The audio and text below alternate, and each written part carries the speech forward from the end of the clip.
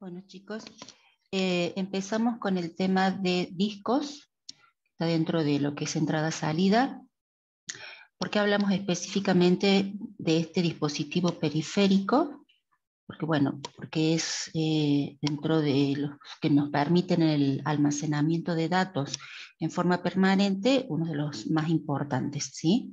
También podemos almacenar en CD, DVD, en pendrive o cualquier eh, otros tipos de memoria que se puedan extraer.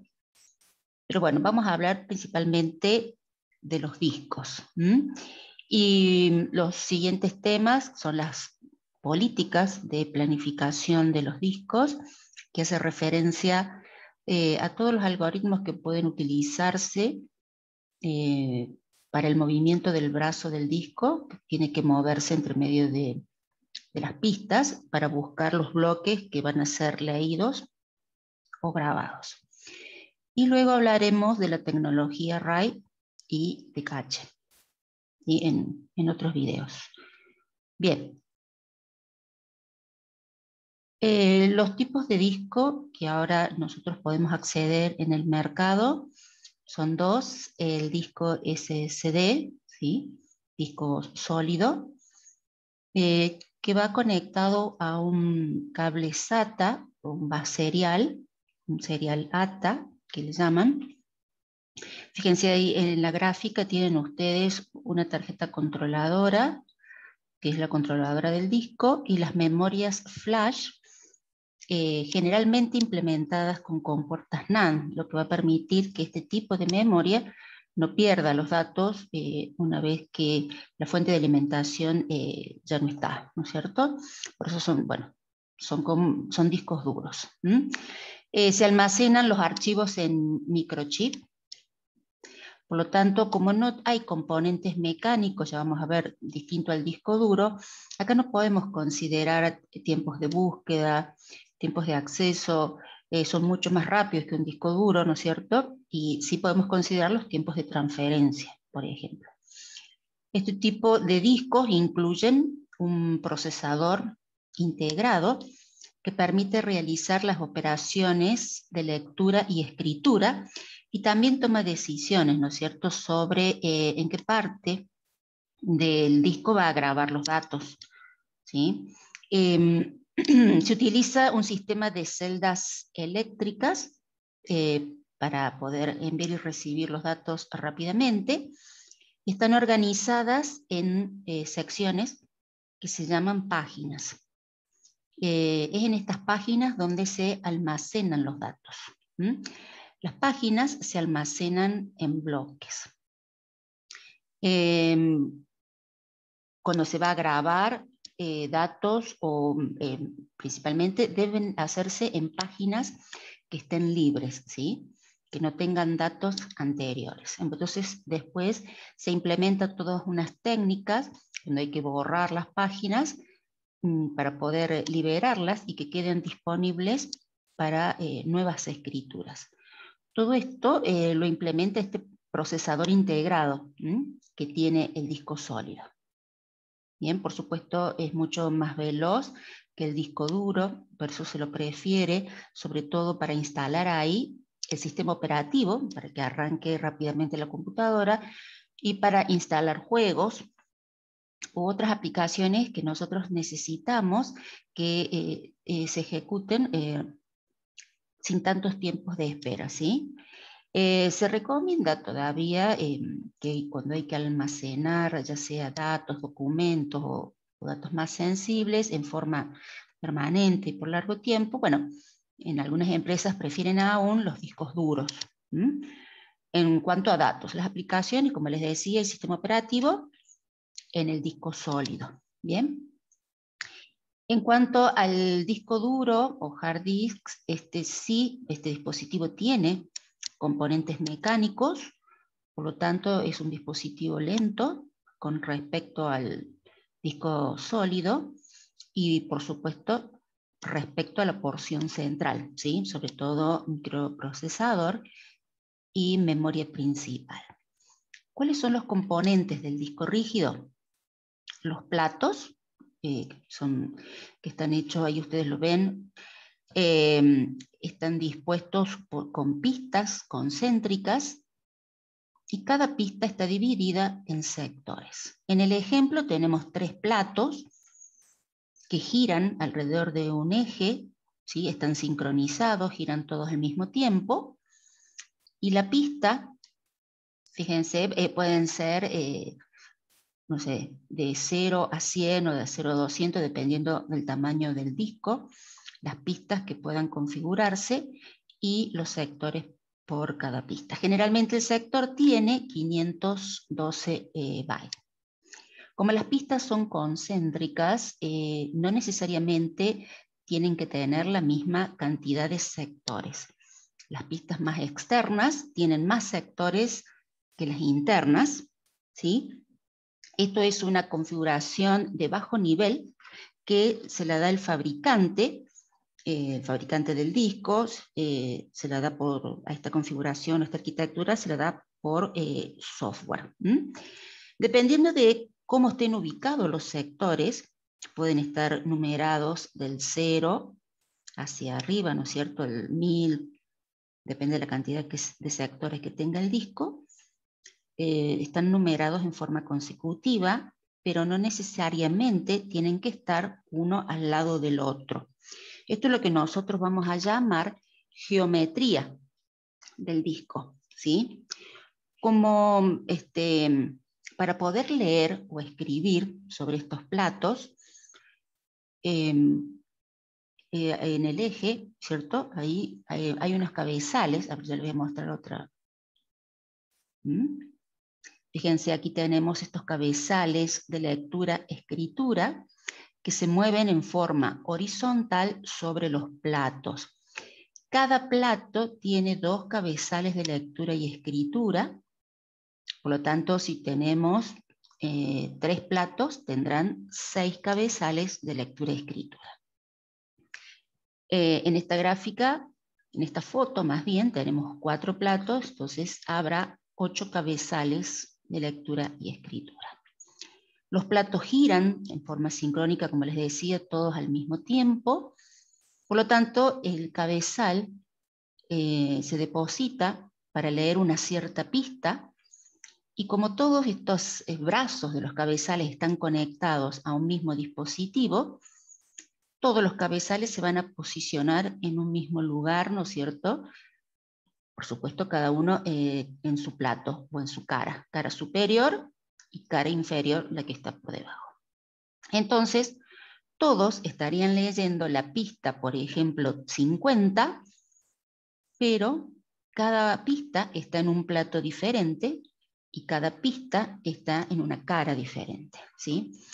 Si está leyendo la pista 50, track 50, aquí tendríamos 2, 4, 6 pistas número 50, dos por plato, y cada cabezal estaría leyendo la pista 50. No sé si se entiende.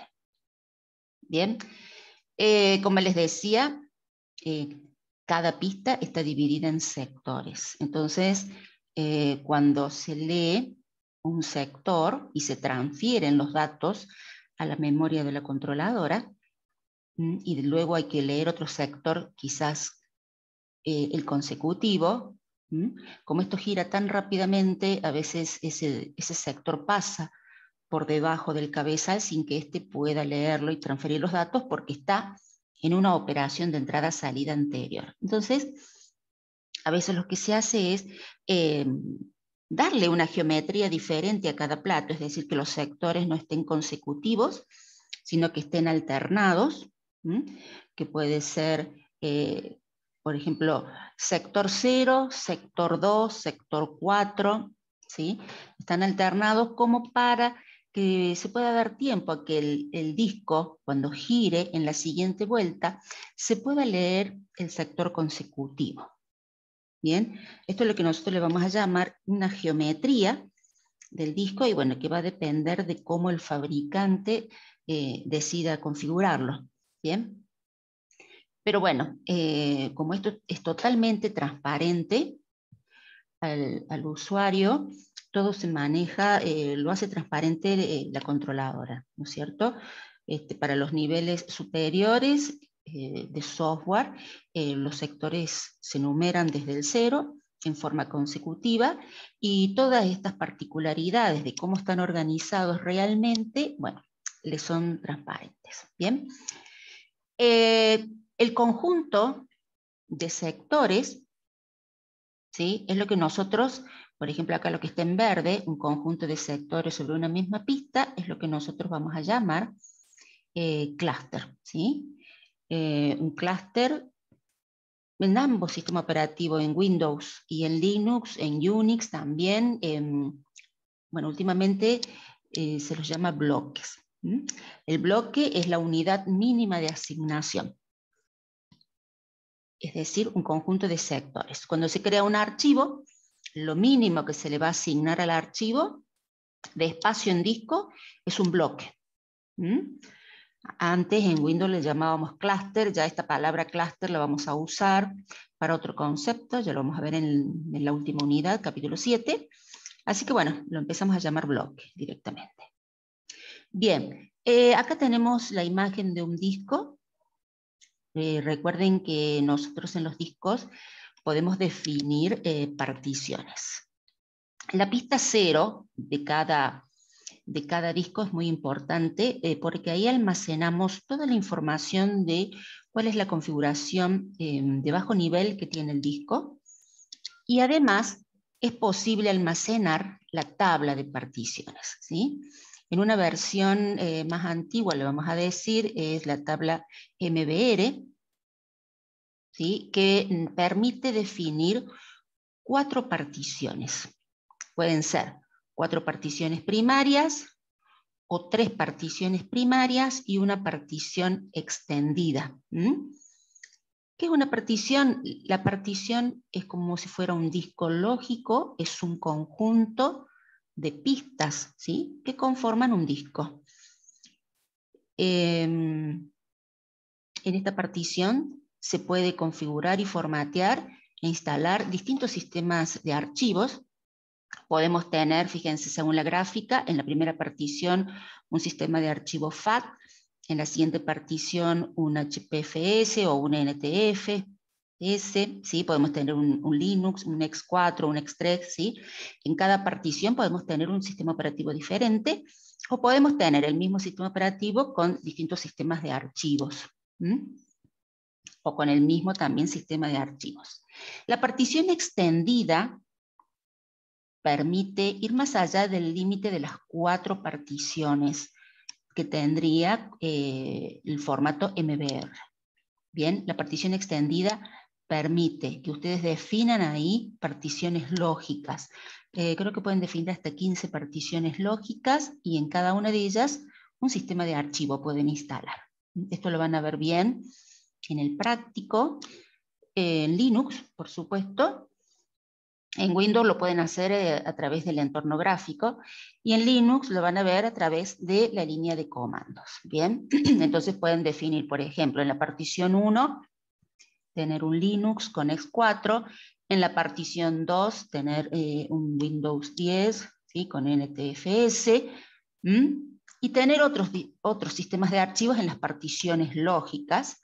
Pueden tener un área de intercambio en la partición lógica 1, por ejemplo, un área SWAT.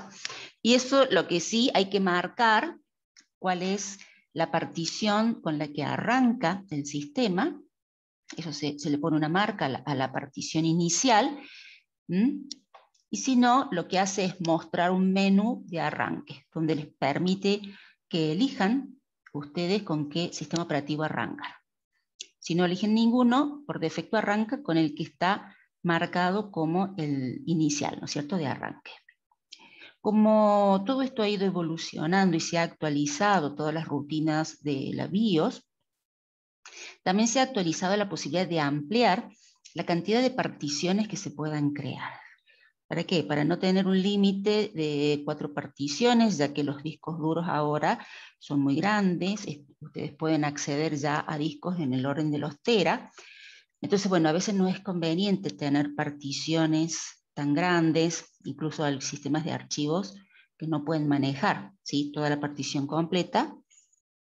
Entonces, eh, es conveniente ir particionando, definiendo discos eh, lógicos más pequeños. Bien, entonces es posible utilizar una tabla de particiones GPT, ¿sí? que, donde ustedes pueden crear, eh, dependiendo del sistema operativo, ¿no es cierto?, hasta 128 particiones. Cuando ustedes instalan los sistemas operativos, eh, les pregunta o les da la opción si quieren continuar con MBR o eh, van a pasar a GPT, lo pueden actualizar, incluso lo pueden hacer una vez instalado. Entonces va a absorber, tiene, eh, va a absorber esta, esta tabla anterior de MBR, la considera, ustedes acá ya tendrían cuatro particiones, una tabla con cuatro entradas, y pueden crear 124 más. ¿Qué, se registra en la tabla de particiones? ¿Mm?